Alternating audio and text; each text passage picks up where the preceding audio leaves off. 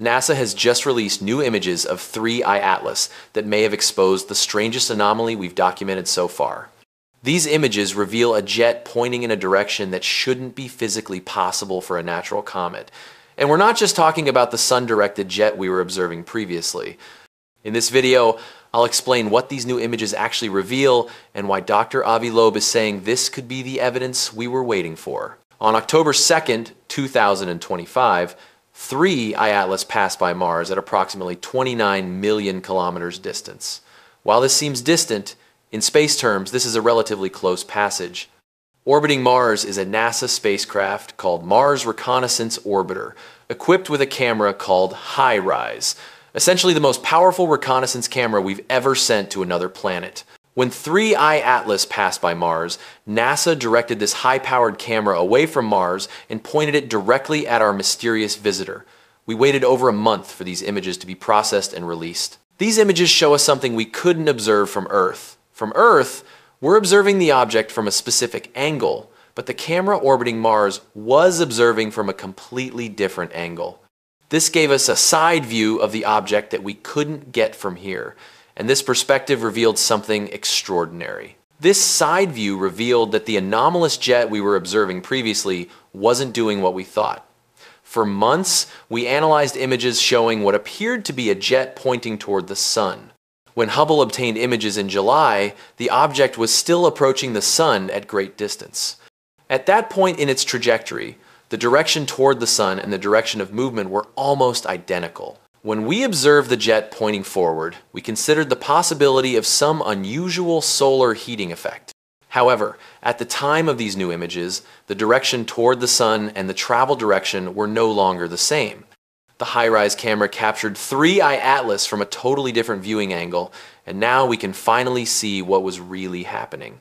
The jet isn't pointing toward the sun or away from it, it's pointing perpendicular to the sun at a 90 degree angle, while the sun-directed jet also remains visible, extending ahead of the object in the direction it's traveling. To understand why this is so anomalous, we need to understand the three forces that control comet tails and jets, solar heating, solar radiation pressure, and solar wind.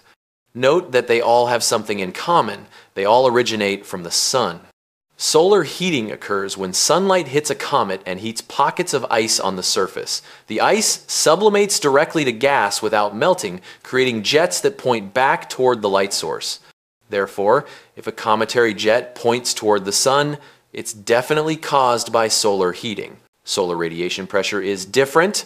Light from the sun pushes small dust particles released from the comet due to solar heating.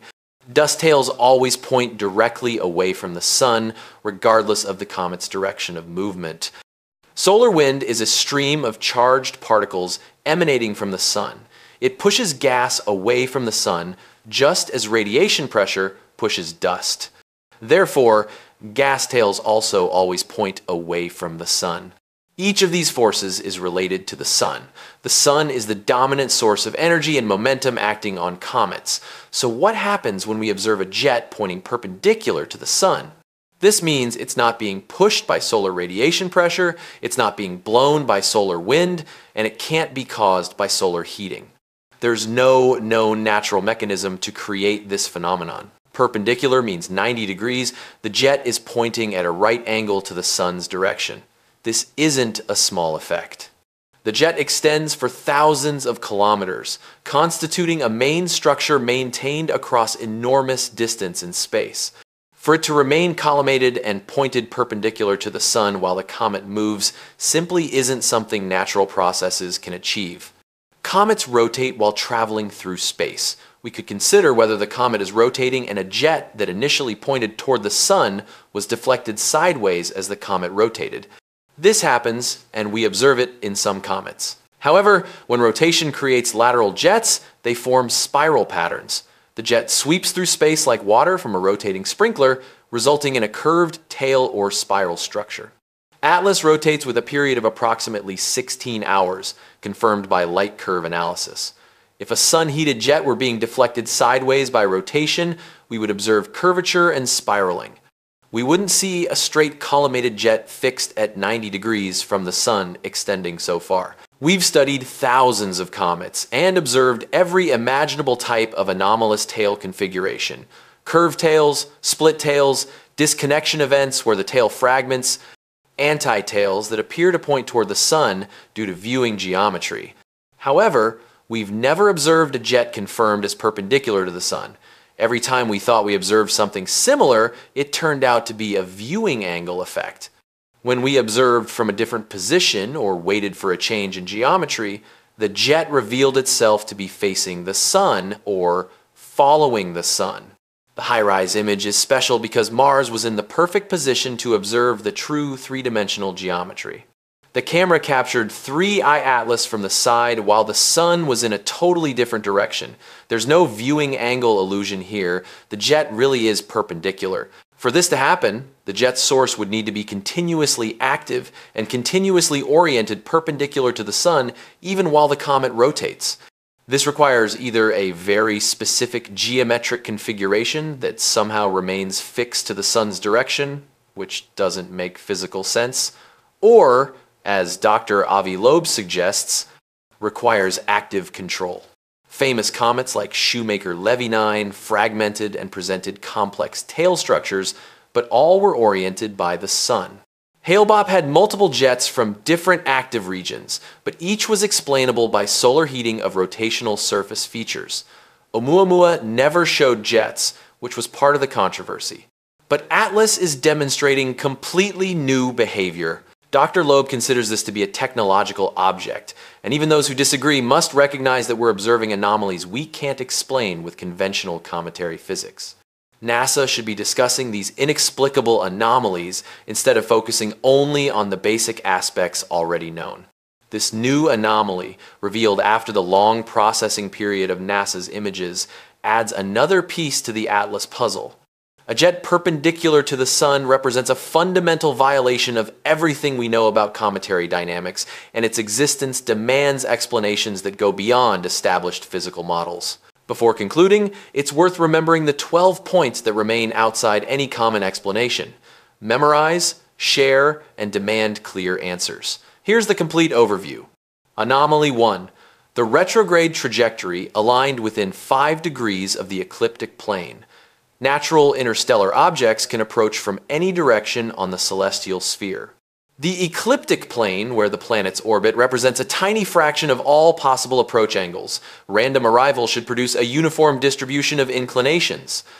Instead, 3I Atlas threaded the needle, coming in on a path that maximizes encounters with inner solar system planets while moving opposite to their orbital direction. Probability of this alignment by chance is around 2%. Anomaly 2, the persistent sunward anti-tail. Cometary tails point away from the sun pushed by radiation pressure and solar wind. Atlas displayed a feature pointing toward the sun, visible in multiple observations spanning months. Geometric perspective effects can create apparent anti-tails, but detailed analysis ruled that out for this object. The feature is real, it points sunward, and we don't have a conventional explanation for why material would stream toward the star rather than away from it. Anomaly 3, the extreme mass. Atlas is roughly a million times more massive than Oumuamua, the first confirmed interstellar object. It's a thousand times more massive than Borisov, and it's moving faster than both. The probability of detecting an interstellar object increases with its size, yes, but the mass distribution of ejected planetesimals from other star systems should follow certain scaling laws. Finding something this massive, this fast, this early in our survey efforts represents unlikely sampling unless such objects are far more common than population models predict. Anomaly 4, the arrival timing. Atlas reached perihelion at a moment that brought it within tens of millions of kilometers of Mars and Venus, it passed through the inner solar system when Earth's viewing geometry made it unobservable from our planet during closest approach to the Sun. It will reach closest approach to Earth weeks later at a distance optimal for observation. These aren't random conjunctions. The timing places the object near multiple planets sequentially, as if following a tour rather than a ballistic trajectory. Probability of this configuration occurring by chance is estimated at 0.005%. Anomaly 5. The composition. Spectroscopic analysis shows nickel emission far exceeding iron content. Natural meteoritic and cometary materials show iron to nickel ratios typically around 10 to 1. Industrial nickel alloys invert this, prioritizing nickel for its corrosion resistance and strength. Atlas displays composition more similar to engineered metal than natural rock. The nickel to cyanide ratio is orders of magnitude higher than any known solar system comet. Probability of this composition occurring naturally is below 1% based on comparison with the population of measured comets. Anomaly 6, the water fraction of just 4% by mass. Comets are supposed to be dirty snowballs, primarily water ice with rock and organic compounds mixed in. Typical comets show water content around 50% or higher. Atlas is inverted, mostly rock and metal with a small amount of volatile ice. That's more consistent with an asteroid that somehow ended up on an interstellar trajectory, except asteroids don't produce the gas emissions we're observing. The low water content is documented through direct measurement of emission line strengths and doesn't match standard cometary models. Anomaly 7, the extreme negative polarization. Light reflected from Atlas shows polarization properties unprecedented for comets, the negative polarization branch, where reflected light becomes polarized opposite to the scattering plane, reaches amplitudes never before measured for any solar system comet, including Borisov. This suggests surface or coma properties fundamentally different from known cometary materials. Grain size, composition, structure, something about Atlas produces an optical signature we haven't encountered before. Probability below 1% based on comparison with the full database of cometary polarization measurements. Anomaly 8, the arrival direction traced back to interstellar space. The trajectory intersects within 9 degrees of the sky location where the WOW signal originated. That radio burst from the 70 seconds remains the strongest candidate for an extraterrestrial transmission ever detected. The coincidence of Atlas arriving from nearly the same direction decades later could be random, but the probability is around 6%. If the WOW signal was genuine communication or leakage radiation from a civilization, sending a physical probe along the back vector would be a logical follow-up. Anomaly 9, the rapid brightening near perihelion. Atlas brightened faster than any known comet. The light curve doesn't follow standard cometary models based on solar heating and sublimation rates. It also shifted color, becoming bluer than the sun when comets typically redden due to dust scattering. The blue color is particularly strange because the surface temperature should be thousands of degrees cooler than the solar photosphere, naturally producing redder emission. Achieving blue color requires either unusual composition or an internal heat source, maintaining temperatures higher than solar heating alone would produce. Anomaly 10, the jet surface area problem.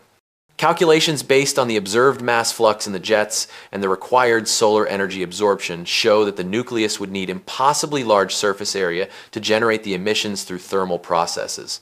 The jets are too active for the size of the object. Either the sublimation efficiency is far higher than any known material, or energy is coming from somewhere other than sunlight. This was quantified in detailed analysis showing the discrepancy is not subtle but factors of several times beyond what's physically plausible. Anomaly 11, the non-gravitational acceleration without breakup near perihelion. JPL detected significant thrust from non-gravitational forces. Momentum conservation requires that producing this acceleration through outgassing would vaporize at least 13% of the total mass. For a 3 3 billion ton object, that's over 4 billion tons of material ejected in roughly one month. That should create a massive, brilliant coma visible to amateur telescopes. It should fragment the nucleus from thermal stress and mass loss. Neither occurred. The object remained intact with a modest coma, implying the acceleration came from efficient propulsion rather than wasteful bulk evaporation. Anomaly 12, the rotation paradox. 16.16 hour rotation period measured photometrically. Jets extending over a million kilometers, maintaining tight collimation and fixed directions. These observations are incompatible with passive outgassing from a rotating source.